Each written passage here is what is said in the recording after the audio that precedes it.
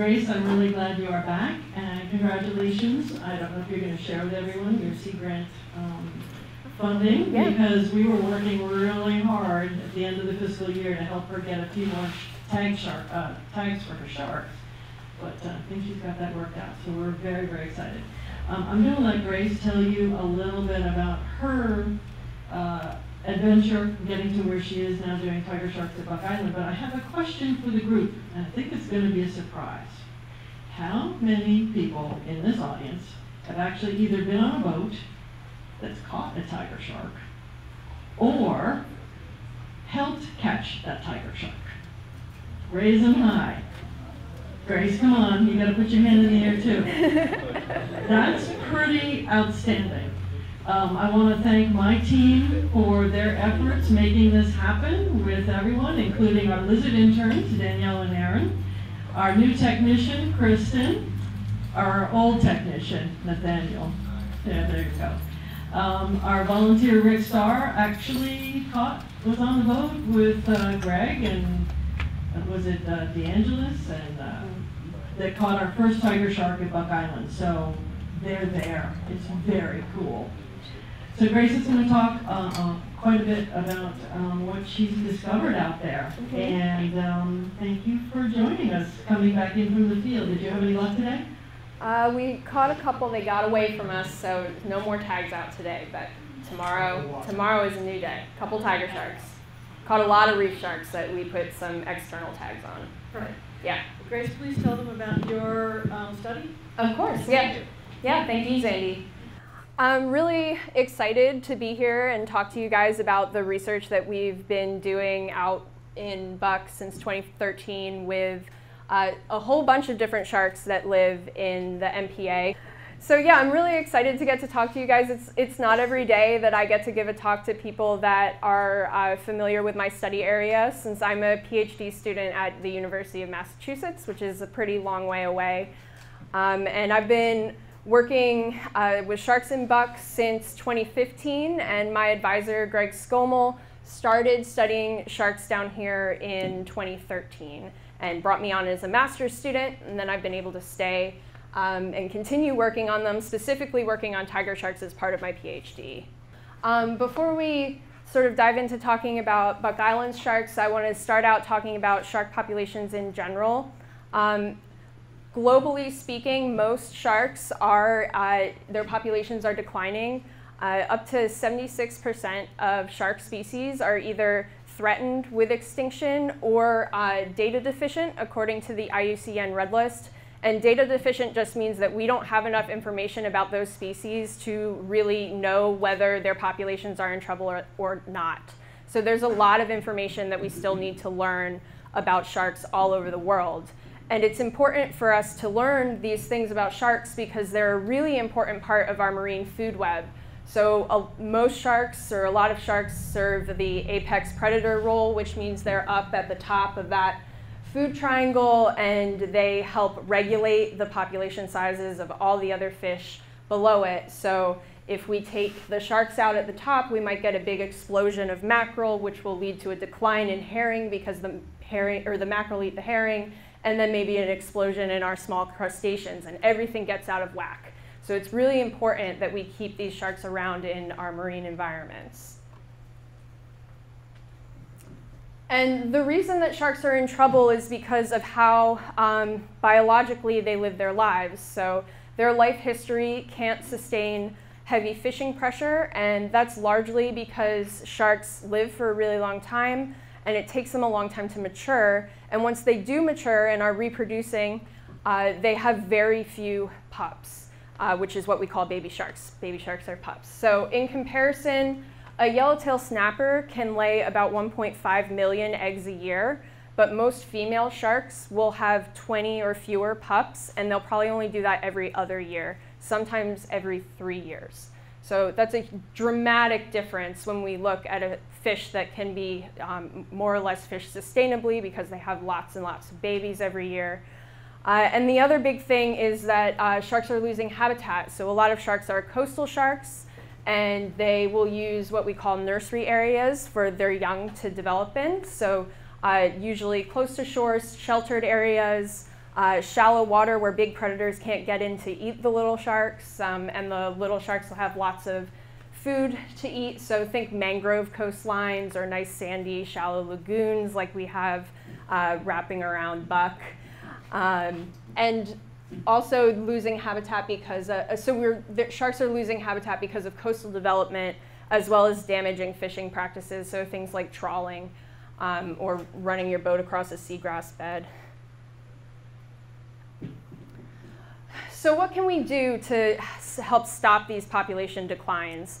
Well, one thing that we can do is implement fishing regulations. And especially in the Caribbean, we look towards things like forming marine protected areas. And when we start talking about forming marine protected areas, it's important that we put those marine protected areas in places that are important to the sharks or it's not going to matter. If they don't use those spaces, having a closed area, an area that's closed to fishing isn't going to make a difference. And it's also, before we start forming new MPAs, important to look at the existing MPAs that we already have. And so Buck Island is an existing marine protected area that could be providing protection to sharks with its habitats. But before we started our work, we didn't know. And so the whole concept behind a marine protected area is that you have this area that's close to fishing where the habitats are nice and healthy. We're not taking fish out of this area those populations will grow and grow and grow, and eventually they'll move across the border into areas that are open to fishing to help keep fisheries alive and functioning, because fishing is important for us too. So overall, um, sharks in the Caribbean are pretty similar to population trends globally. Um, most shark populations are declining, and there's generally lower biodiversity of sharks in the Caribbean uh, compared to other uh, tropical areas around the world. And a study conducted in 2010 found that in the greater Caribbean, South Florida, the Bahamas, and the US Virgin Islands had the potentially had the highest remaining concentrations of sharks. Uh, and there have been lots of studies of shark biology, habitat use, movement patterns in South Florida and the Bahamas but there really haven't been very many studies of sharks in the US Virgin Islands. Uh, my advisor, Greg, has been part of a couple studies in St. John and St. Thomas in the early 2000s, and no shark research had happened in St. Croix until we came down here in 2013 and started our work in Buck. So we wanted to study uh, shark habitat use in Buck Island Reef National Monument to see uh, what habitats were important to them, what species were there. We weren't entirely sure because no one had done a whole lot, any shark research down here before. And what we did was set out to try to tag and track sharks in Buck to determine how they were using the marine protected area. And we did that using a technology called acoustic telemetry. And the way acoustic telemetry works is it functions on uh, coupling between an acoustic tag and an acoustic receiver. And so we will put a tag in a shark, and I'm going to show you the steps in our tagging process on the next couple of slides. And then once we have that shark tagged, we have all of these receivers out in the water anchored at different places, and those receivers are constantly listening for those tags. So anytime a shark swims by a receiver, it'll send out a ping, and the receiver will register that, and we can track the shark from place to place based on the tag number that shows up on that receiver, the date and time associated with that detection, and then we know the location of the receiver because we've anchored it in the water. And so that's how we connect our dots, collect our data, and learn where the sharks are going. And so in order to do that, you have to catch and tag sharks, which is a pretty fun thing to have to do. Um, so we fish for our sharks on baited long lines, uh, which are just long ropes with hooks that we bait with nice stinky fish like barracuda. We leave it in the water, wait for a shark to catch or to get hooked on the hook. Uh, and then we uh, pull the shark into the side of the boat and we'll secure it safely to the side of the boat with that hook that's in its mouth and then a tail rope around the tail and then we'll start our surgery process. So a lot of the sharks that we're tagging are pretty big, so we do that with them in the water, like you can see with this nurse shark. And we do our surgeries abdominally, so the tagging, we do a little surgery in the abdominal cavity to put the tag inside of the shark. And that's because these tags have a 10-year battery life, And it's really hard to keep a tag on for 10 years when it's on the outside of the shark. And we want to get as much data as we possibly can from these guys because as they grow, they might start using different spaces. So it's important to be able to get as much information from the lifespan of that tag as possible. And so we make a little incision in the abdominal cavity. We insert the tag, which is a little bit hard to see in this picture, but here's what it would look like on a tiger shark. Uh, the receivers are about that long and about the width of a dime. And then we stitch them up and we let them go.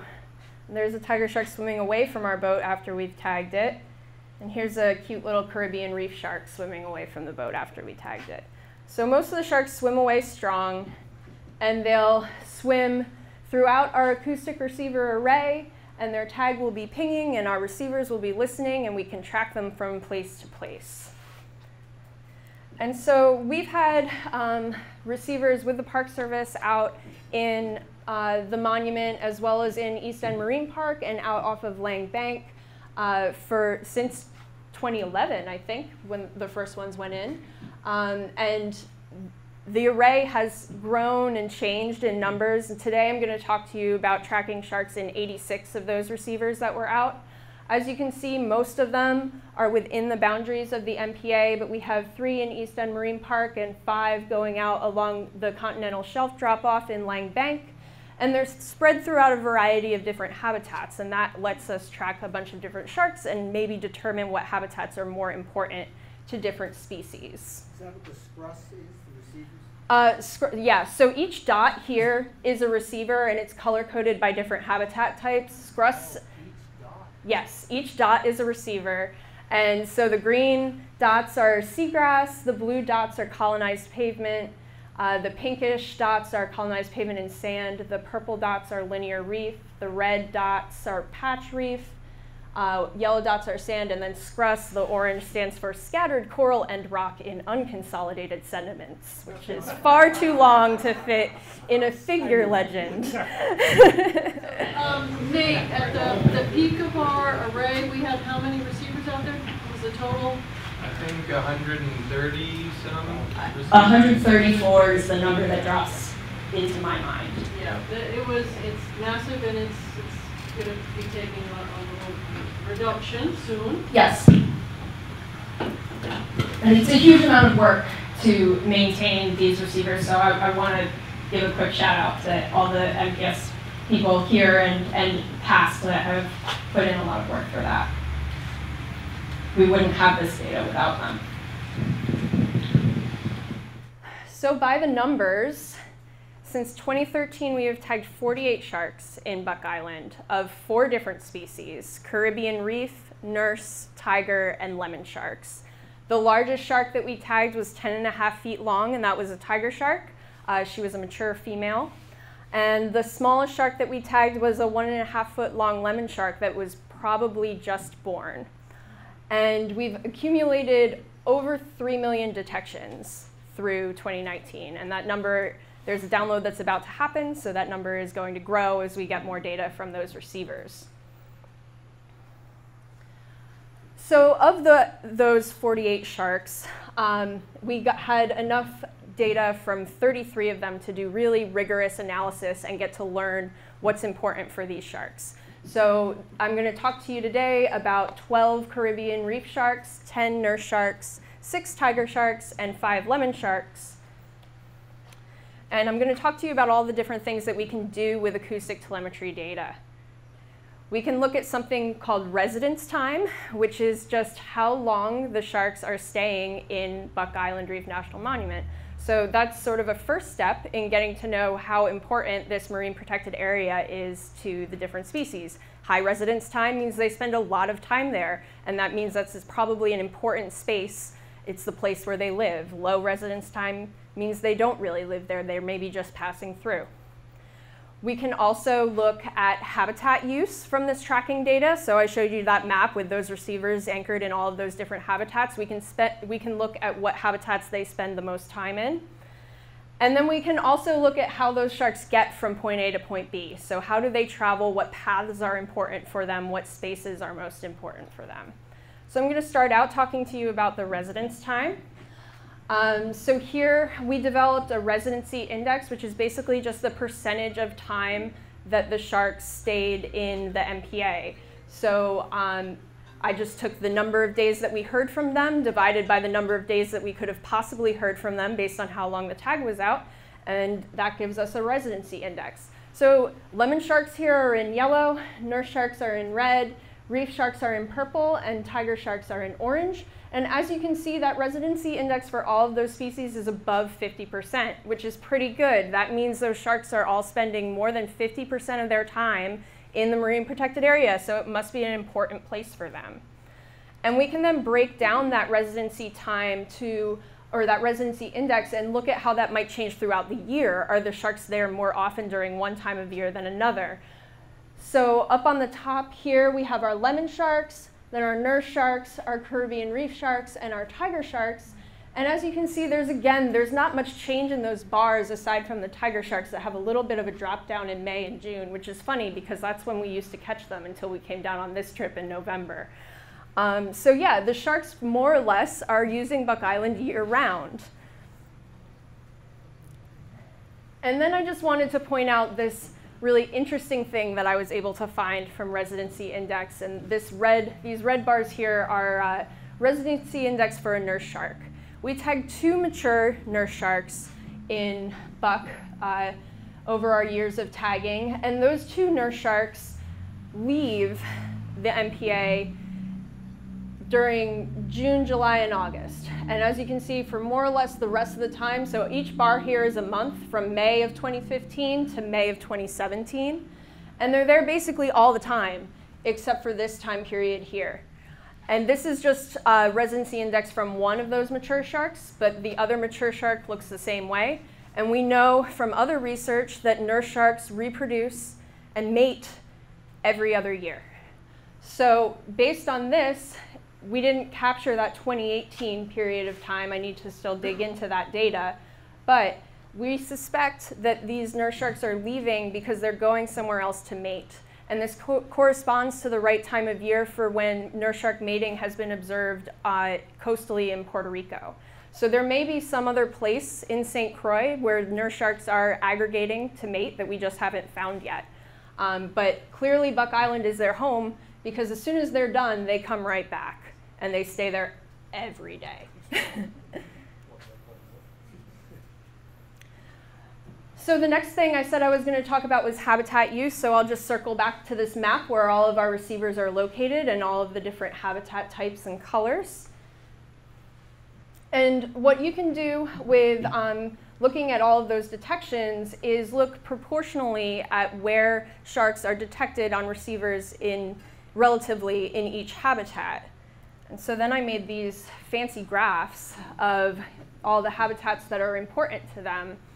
Um, so up here, we have our nurse sharks. Uh, the yellow is sand, the green is seagrass, the purple is linear reef, the red is patch reef, the pink is colonized pavement and sand, the blue is colonized pavement, and the orange is our scrus. Um, and so you can see here that sand and linear reef are really important habitats for those nurse sharks. Uh, nurse sharks are mainly associated with bottom types, so sand probably feels nice and soft on their belly, and the linear reef might be a good place for them to find shelter, um, either from crashing waves or just to hide out during the day, maybe wait for a nice fish to swim by and eat. Uh, then up here we have our lemon sharks. Uh, sand is less important for the lemon sharks here in Buck. They really like linear reef. Um, they also like seagrass and they like that scattered coral and rock in sandy areas. And then down here on the bottom, we have our um, Caribbean reef sharks, and they like sand a lot too. Um, I, actually, I'm going to back up for a minute. So I should have pointed out that these arrows here are showing movements um, between the habitat types. So you can see that most of the uh, nurse shark movements, this big yellow arrow, are moving from sand receiver to sand receiver, Whereas we have a lot more crisscrossing happening here with the Caribbean reef sharks. So they like to move around a lot more. Even though they spend a good amount of time in sand, they're going back and forth between lots and lots of different habitat types. And we see a similar pattern here for uh, our tiger sharks. Lots of movements back and forth between different habitat types, but again, a preference for sand. Um, so that sand is really important. Some of our sand receivers are in quite deep water, so it may also be showing a preference for deeper water, particularly with our larger sharks. So one of the last things that we can do with acoustic telemetry is look at how the sharks like to go from point A to point B and see if maybe there are differences um, among individual sharks and if that corresponds to different sizes.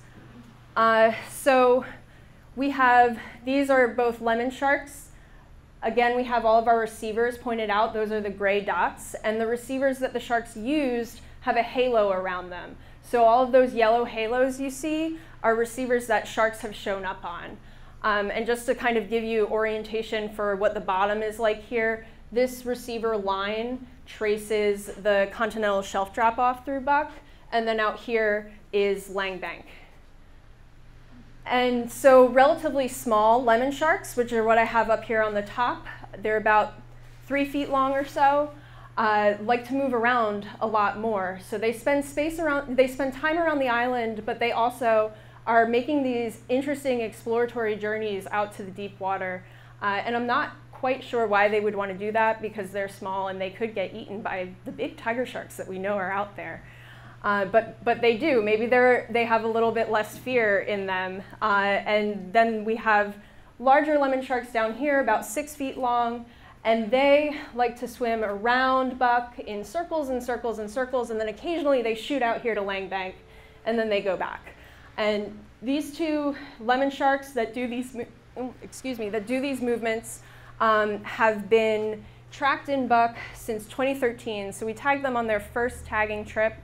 Uh, we've been tracking them up until now. Their pingers are still working. Uh, and all they do is swim around that island in circles every single day. So must be a little bit boring, I think, but they seem to like it here. Same direction? No, no. Yeah? How come the pingers there at the boundary line didn't light up when Okay. Yeah, so um, these lines aren't accurate in terms of like Right, they the. don't go straight. Yes, yeah, of course. So we only know that they went from here to here. We don't know how they got there. They could have gone all the way through here. They could have gone down and around. Yeah. So this is just representing connections between point A and point B. How close is it to text? Uh, about 200 meters. It depends on the bottom type. So 200 meters is, is 200 to 150 would be expected for sand. It gets smaller on linear reef um, because it's there's more structure.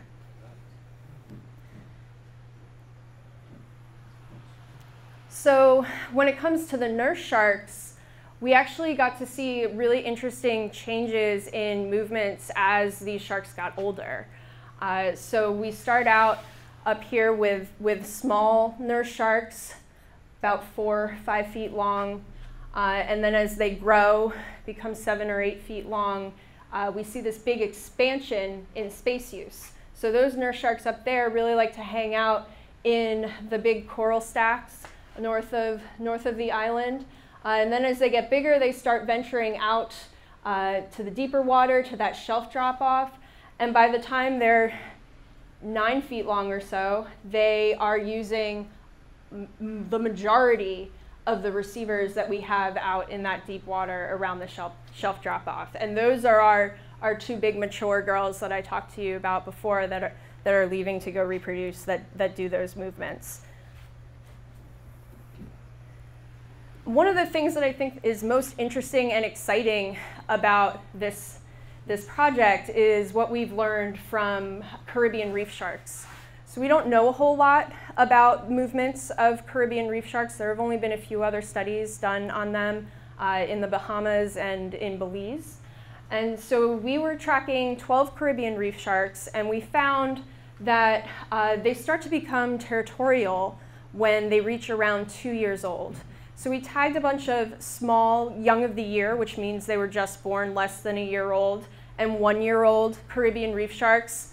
And they all like to stay really close to the island and they just track more or less back and forth along this nice linear reef up here.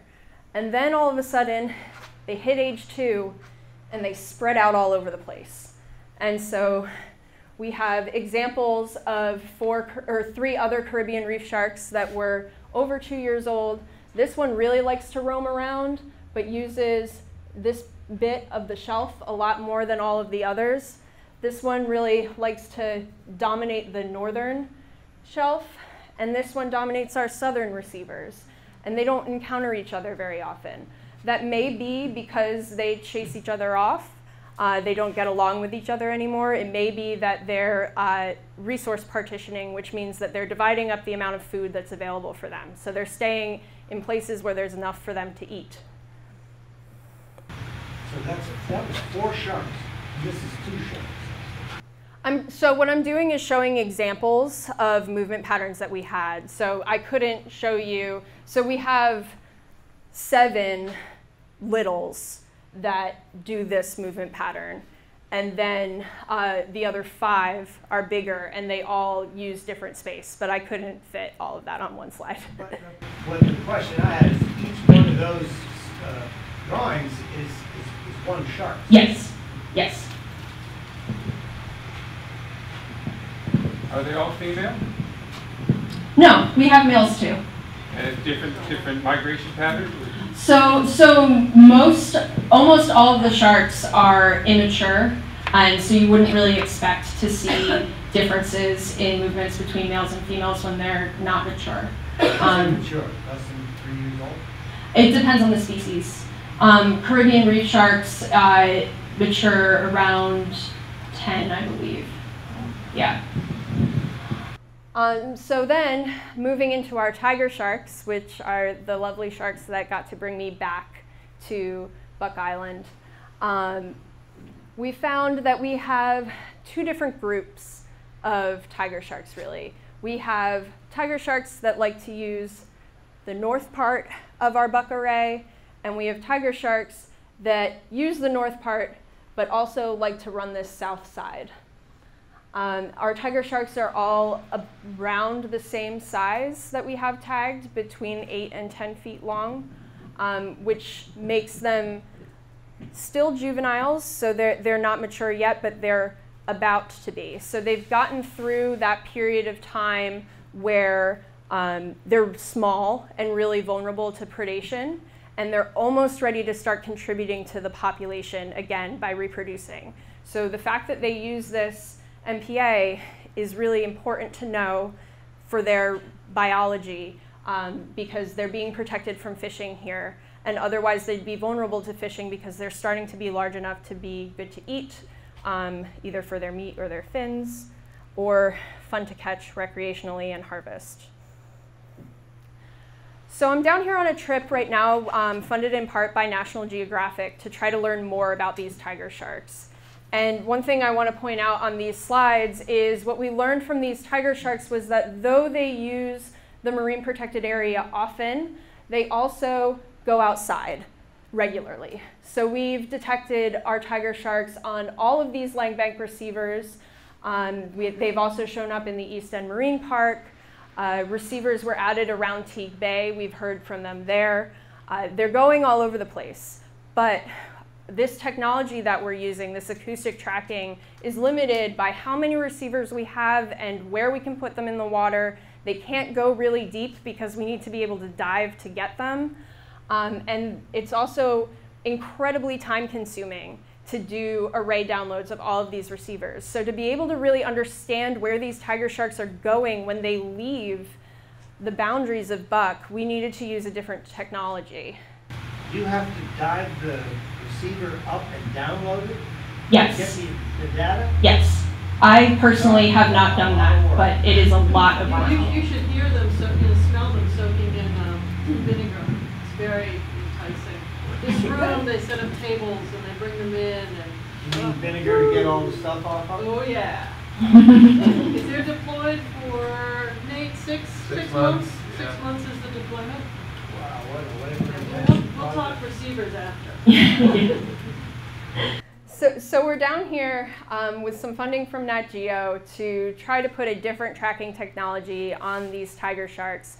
That means we don't have to rely as heavily on those acoustic receivers, and we'll be able to learn where the sharks are going when they leave the marine protected area. And we've been fortunate enough to catch and tag, deploy one of these tags on our trip down, we still have a couple more days of fishing. We're hoping to get a few more out.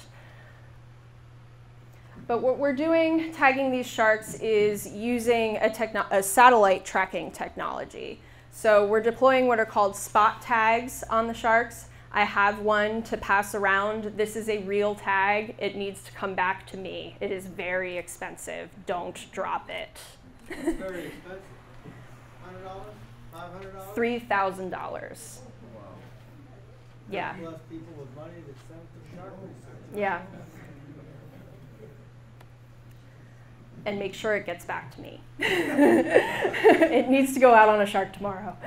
Um, so, what we do with that tag is we attach it to their dorsal fin. And so, the way that tag works is that every time you'll see as it goes around, it has an antenna on it.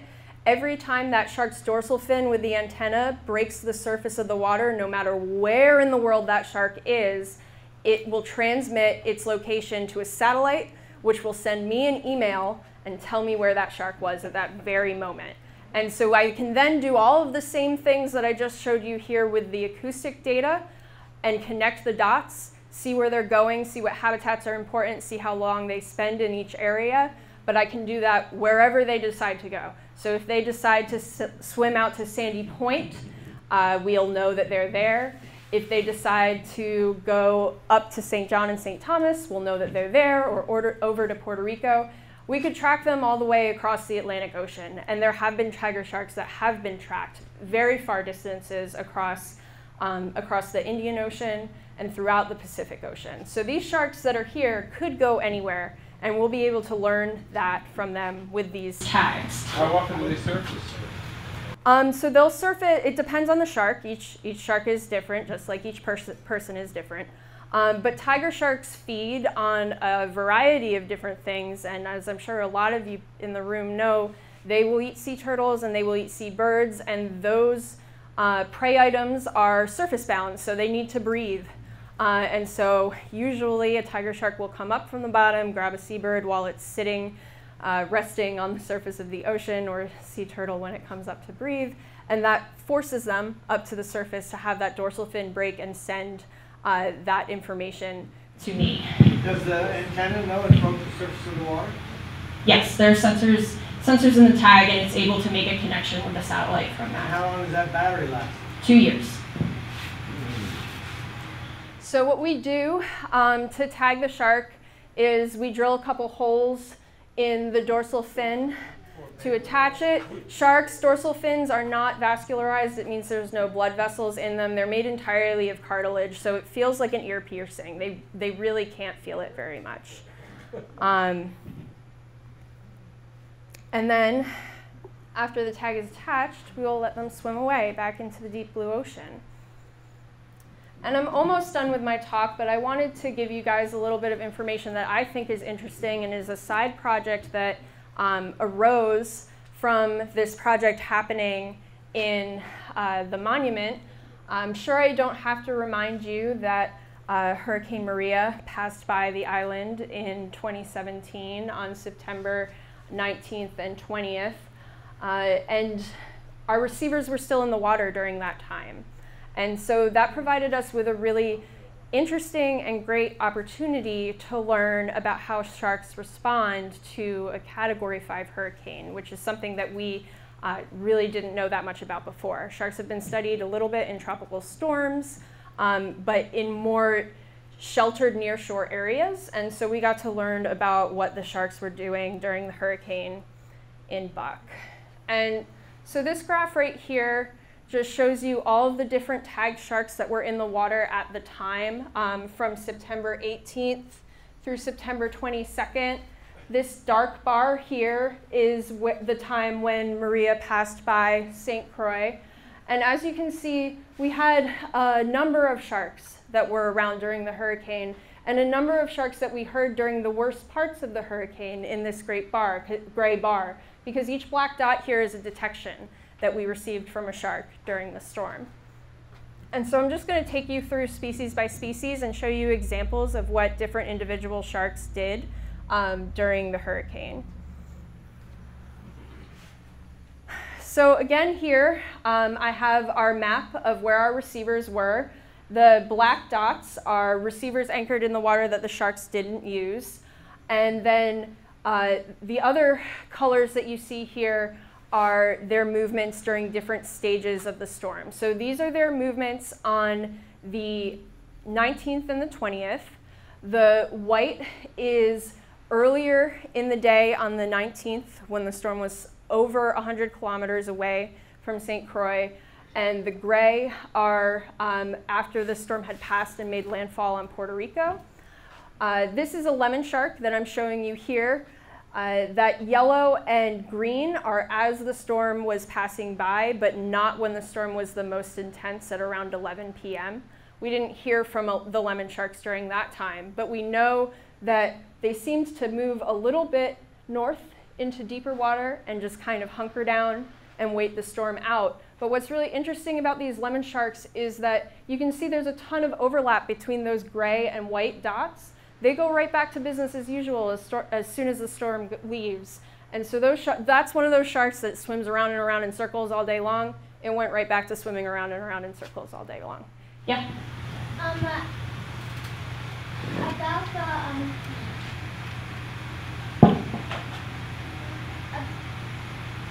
after two years, when the tag dies, does it still keep the information or does it lose all the information?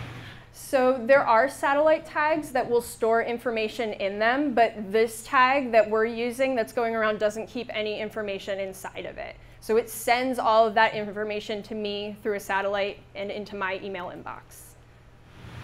And when the battery runs out, the shark's just stuck with the tag till the tie wraps or something fall off, right? Yeah, so I mean, we use a, a bolt system and they're designed to corrode over time. So after the two year time limit, those bolts should corrode and, and fall off. Yeah. All right, so back to hurricanes. Uh, during the hurricane, uh, nurse sharks moved uh, out towards deeper water. They hung out right along this continental shelf drop off. And then once the storm was gone, they made these really interesting exploratory movements along our receivers that were anchored out along the reef outside of Teague Bay. And what I think that they were doing there was uh, foraging. So I think they were looking for food. The uh, storm had incredible wave action, knocked up a lot of stuff from the bottom, probably had a few dead fish out there. Uh, and so they were capitalizing on that opportunity. Caribbean reef sharks also moved out to deeper water just like the nurse sharks. So this is one of those little Caribbean reefs that likes to go back and forth and back and forth. And then all of a sudden it tracks out to the deep water. Uh, during, the red is during the worst of the storm. It's in some of our deepest water receivers, and then it cuts right back in and does the same thing that the lemon sharks did, goes right back to business as usual as soon as the storm is gone. Did any of the sharks preempt the storm, or did they just move when the storm got close? A few of them left early, so um, I'm going to transition right into the tiger sharks because they are the ones that left earlier. Um, but part of that might be because the tiger sharks already like to be in deep water. And so they were moving deeper, but we weren't able to track that because they were already on receivers in really deep water, like at the deepest extent of our of the receivers that we have. And then after the storm left, the shark showed back up all the way out here at the edge of Lang Bank, uh, and then came back closer to shore uh, as time went on. And another thing that's pretty cool about the sharks in the hurricane is that some of these sharks that we've tracked for years and years went to places that they'd never gone before, even though they've had we've had receivers there the entire time. So if they had gone there, we would have known. And obviously, they've always had access to these places. Um, so again, one of these lemon sharks that likes to swim around in circles moved out to a receiver on the edge of the continental shelf drop off that it had never been to before within the MPA. Uh, we saw, see a similar thing with this Caribbean reef shark moved to receivers along the continental shelf that it had never been to before And that was after the storm? during the storm. And another Caribbean reef shark that we had been tracking for three years moved to an area of the continental shelf that it had never gone to before. So in general, we're seeing that these sharks, like they move out into deeper water, likely to escape the severity of the storm. So if you have access to deeper water, you can go farther down. There's going to be less crazy waves. Uh, you, you're not going to be affected by the wind, uh, and it's a safer spot for them. So that's probably why they're going to deep water. So to wrap things up, we've been studying sharks here for six years. What does buck mean for sharks?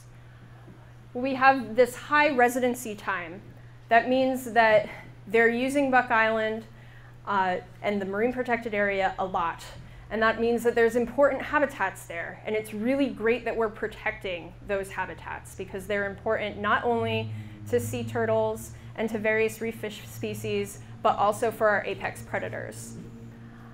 We see that the diversity of habitats in Buck Island is really important. So while those sand habitats are important, different species liked other things. So our um, lemon sharks liked that linear reef habitat. Uh, our tiger sharks used the scrus more often than others and the colonized pavement.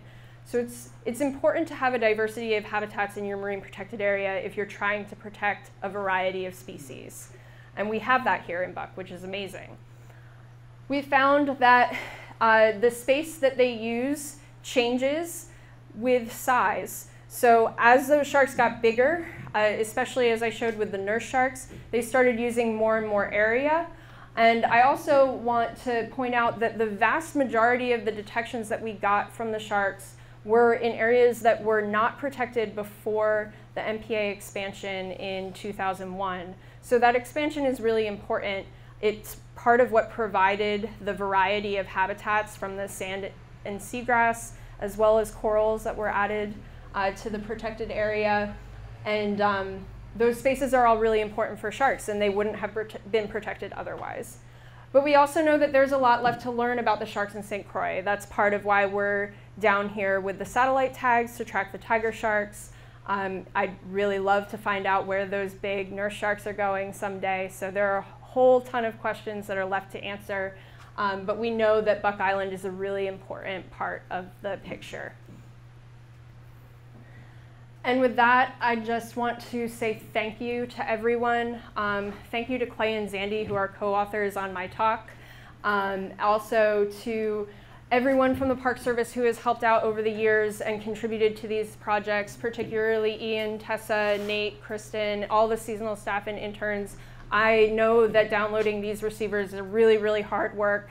You've provided me and a number of other researchers with an amazing data set, and we're incredibly grateful for that and then all of my funders. Um, I'm, my PhD is funded by the Dr. Nancy Foster Scholarship from NOAA, uh, National Park Service, the New England Aquarium, the Atlantic White Shark Conservancy, Puerto Rico Sea Grant, and National Geographic have all contributed to this research, and it wouldn't be possible without them.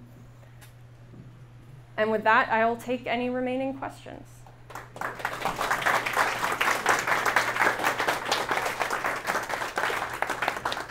I have to correct an error of my ways before we get to give Grace some questions. Can my team stand up, please? Because I did not intentionally forget our critical seasonal Jade Reinhardt, but your boss sat over there the whole talk going, oh my gosh, I forgot Jade. This, this team here has been fantastic. This summer, they are going to undertake, under Nate's uh, leadership, the removal of an enormous amount of the acoustic receivers. We're only keeping the ones in that Grace wants. but Jade and Danielle and Aaron both working on the St. Croix ground lizard at Buck Island. Kristen is our newest member of the staff, along with Jade from the summer. She's a UVI master's student graduate. We're really happy to have her here. And of course, Nathaniel is our lead bioscience tech. So again, thank you very much. Um, and yeah, the array is coming. So now ask Grace her questions. Yeah.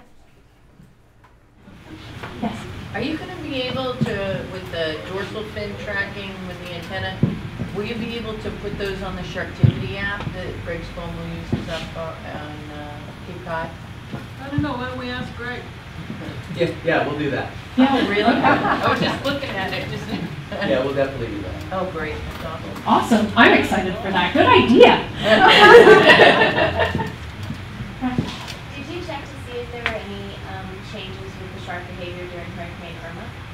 I haven't, so that's on my to-do list, and it's going to be really interesting to compare how things were different or similar, um, because Irma was was farther away, but but there were still obviously environmental changes that they might be sensing and responding to. So that that's something that I am going to dig into. You ready? Have you ever tagged a great white? I have not tagged a great white, but there's someone else in this room that has, and maybe he could talk to you after the Q and A. I'll tell you about that.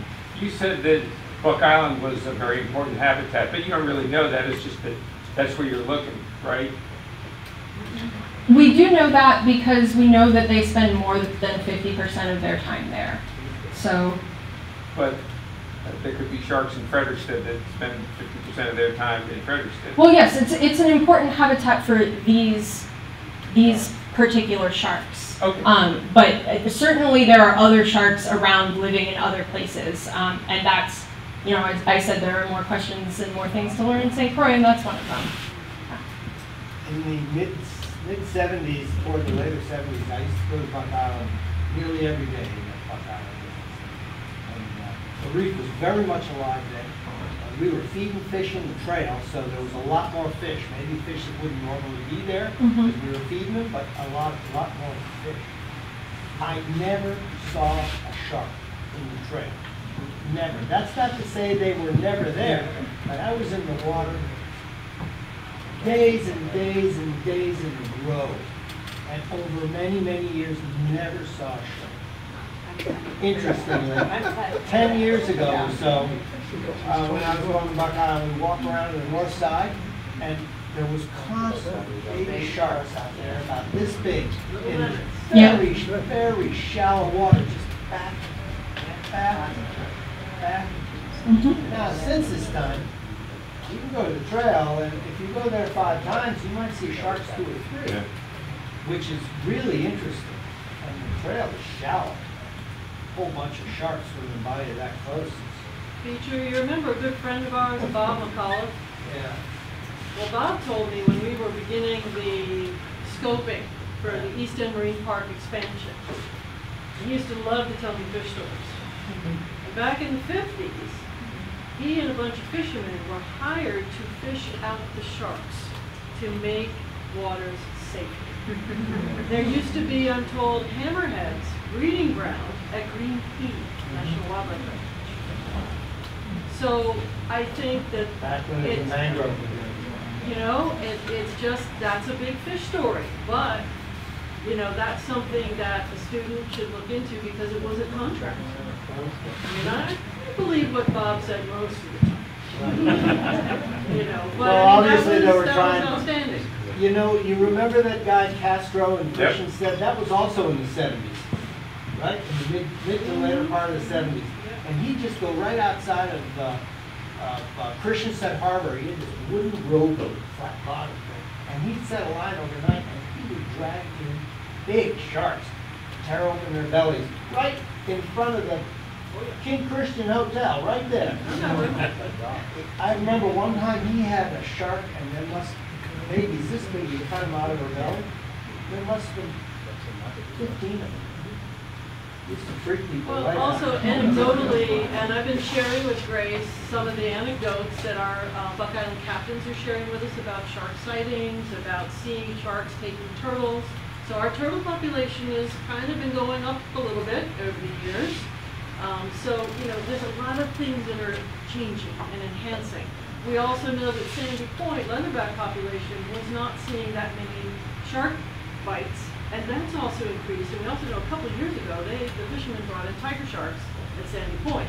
So So with more are- food around, we may have more sharks Well, too. these are big, important parts of the marine protected area.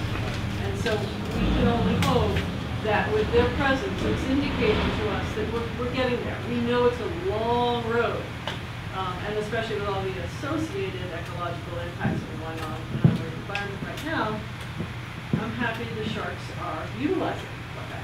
Yes, me too. Besides, besides your contact with the sharks, how much contact do the sharks have with humans? Um, it's it's pretty low, so they're you're really quite unlikely to be bitten by a shark. Um, you're more likely to be killed by a cow or a falling vending machine or an exploding toaster. So it's it's a it's a pretty pretty low chance. Yes. Is it possible, I mean, this may not be possible, is it possible for you to look at the data in terms of how the sharks behave when humans are in the area? That would be difficult to do without some additional data, um, but it's probably additional data that I could track down based on uh, the trips that go back and forth. Yeah, we, um, we certainly know when our concessionaires are at the Underwater Trail, what that period of time is. And Grace and I talked about this sort of recreational question, because of course, that for us, that's like really interesting. Mhm. Um, and we know from the work that was done at the Seagrass with the video cameras, with, with Alex Julik, um, that sharks are swimming past our seagrass pastures on the south side frequently. So that's sort of, I mean, you know, she could get about three or four PhDs out of the data that, she, that she's gotten. I, yeah, I could. There's an Um, immense and- amount of data. And, and, and that's the scary thing is, I mean, how many millions of detections have we got for all species right now, Nate? I mean, last time it was like 40 million or something? Yeah. Yeah, so I mean, we haven't just tagged sharks, we're tagging everything from conch to tiger sharks. Mhm. And a whole array of fish in between and sea turtles. Um, you know, so it's just, you wouldn't believe how fast conch moves, but anyway. Yeah, I- It- it I've seen it. fascinating. It's actually It is crazy. fascinating. But, yeah, it's, um, a massive quantity of data, she literally could do multiple PhDs. Yes. This is really elementary. What makes that area that you're talking about with all of the sharks, what makes it protected? Obviously not walls around it, but what makes it protected? Anything, you actually have a shape to it, what, Well, so, so that's the, um, the boundary of the marine protected area, so that, that was set by, um, but The nothing powers that really, be. it's not like a fence, there's nothing keeping you in there. oh, no, certainly, No, certainly food. they leave. There's Um, because it's protected. We, we don't have many receivers outside because it's, it's hard to have receivers cover such a large area. So, so the boundaries of Buck Island are, are very large. I can tell you it's 77 square kilometers because I'm a scientist and I have to work on the metric system. I don't remember what that is in the conversion, but it's a, it's a huge area that we're covering with this array. Um, having more outs- receivers outside would be great so that we could know where they were outside, but you, you work with the resources that you I have. guess what I meant was, I know what I meant, but it's, it's explaining it. What keep, what? Why do they spend so much time there? Or, The only protection we're providing them right now, Susan, is the fact that fishermen have agreed to not illegally fish. oh, okay. at I Buck got Island. So in So two- it's a legal thing. 2001, 2001, Buck Island was expanded. In 2003, we put in place the interim regulations that said no fishing, which is another reason why a lot of folks get distressed because if they've gone deep sea fishing outside of Buck Island and then they want to come back to Buck to have their picnic or fry their fish, they still have fishing gear on, which makes it impossible for the rangers to know. So if you have fishing gear in the park, please don't. The rangers are going to assume that you've been fishing in the park, regardless of whether it's wet or dry, just don't go there. Um, so that was the deal. And Buck Island is our fully protected marine area, but it is just a piece of the larger East End Marine Park. And, and so it doesn't mean it's perfect. We certainly know we have illegal fishers. We, our team's out there frequently seeing it and then trying to work with our rangers and You know, do the education, do the refreshing, you know, heck, chase the fishermen out of the park.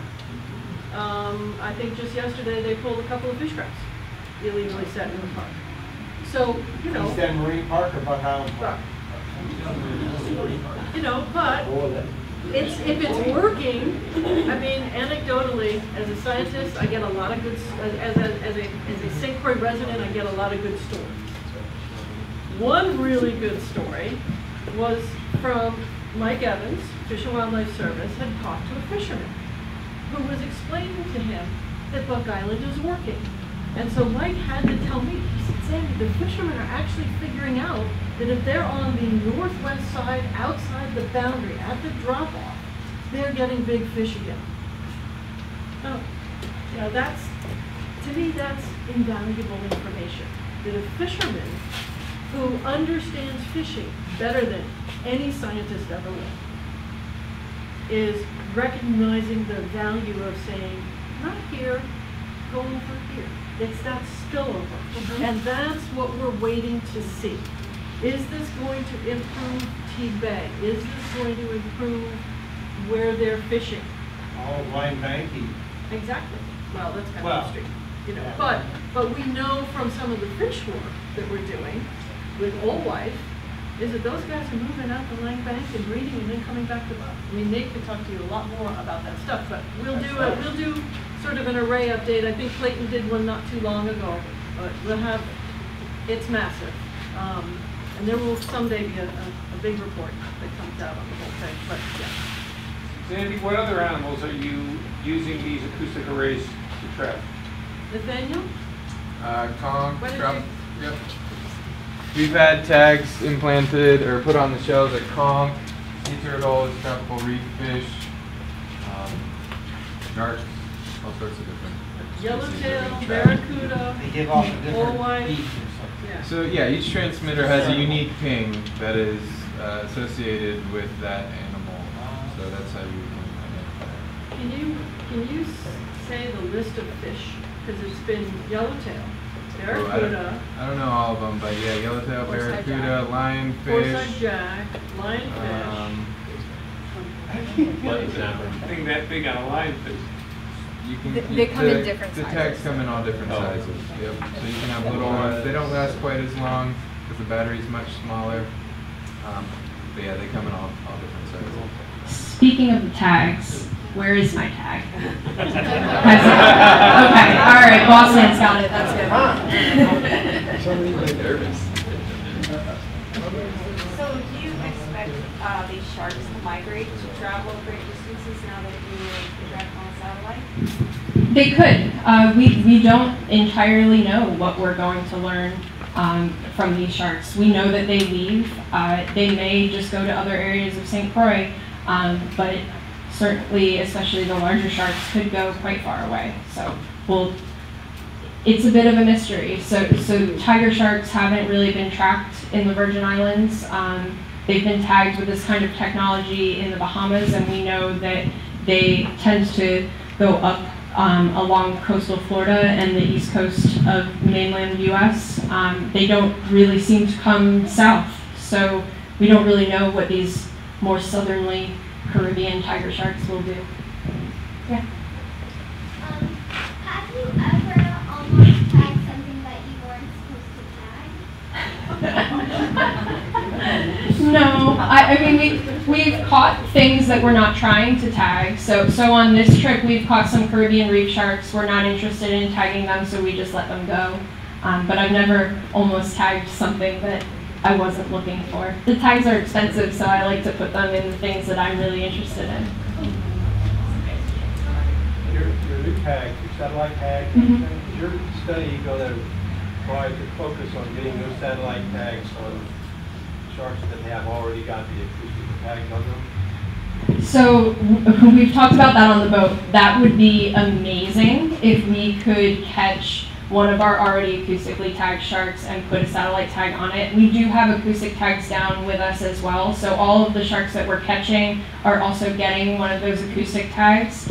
Um, and as Zandy said, we are leaving some receivers in the water, though, though the majority of the array is, is closing down. So we'll still get those nice fine scale movements within buck from the receivers that we leave as well as the broader movements. But it certainly would be amazing to be able to combine that his, historic data set that I have from the already tagged sharks, but it would be, you know, it's hard to catch, it's hard to catch a shark in general. It's, it's really hard to catch that one specific shark. Yeah, the only way you could tell is by seeing the scar, unless you had a We put- that you could ping it with. Yes, so, so, um, there are, they're called hydrophones that you can use to determine if there's a tag inside.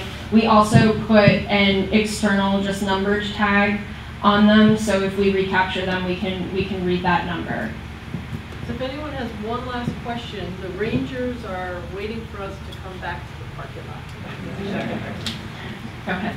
So would you class this area as a breeding and nursery ground? Like we've got up in New York, where the Noanella off Montauk, you have a nursery ground for great whites. Same as you have in Massachusetts, you have a nursery ground for great whites. Mhm. Would you class this as a nursery? Or, there's a no population? So nursery is is a very specific scientific term um, when it comes to a shark a shark nursery. There are several criteria that it needs to meet. Um, you have to have uh, young, so year old or less than a year old individuals using it all the time. Though some of, though most of our sharks are are immature, um, they're not necessarily all that young. Uh, you also have to have repeated data from little sharks year after year after year. Uh, and certainly, it appears that this area is very important for young lemon sharks. The sharks that you were talking about swimming by on the north end of the lagoon in super shallow water were most likely young lemon sharks. Uh, we need to do a little bit more research to meet that true scientific definition. Um, it would involve coming and doing longer term annual surveys during that time of year when, when those little sharks are pupped. Um, but it's, it's likely, likely a, a nursery for lemons at least. Okay. Uh,